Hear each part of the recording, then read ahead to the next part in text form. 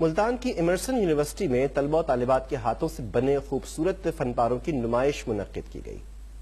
हार की आमद के साथ ही एमरसन यूनिवर्सिटी में फनपारों की नुमाइश का अहतमाम किया गया।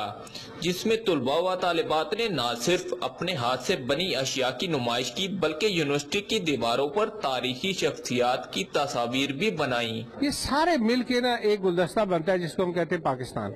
इसको उजागर करना बड़ा ज़रूरी है, नहीं तो नई नस्ल भूल जाती है।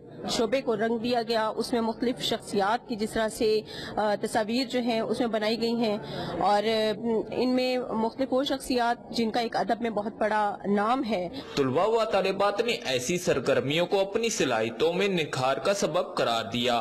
उनका कहना था कि इस तरह की तकरीबात से उन्हें बहुत कुछ सीखने का मौका मिलता है। ये बहुत हेल्दी एक्टिविटी है तलबा तलबात के लिए।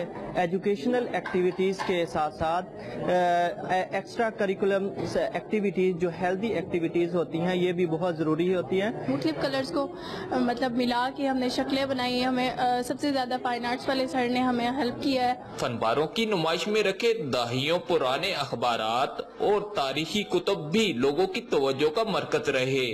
कैमरामैन तारिक चौधरी के साथ नुमान भुट्टा मुल्तान अब तक।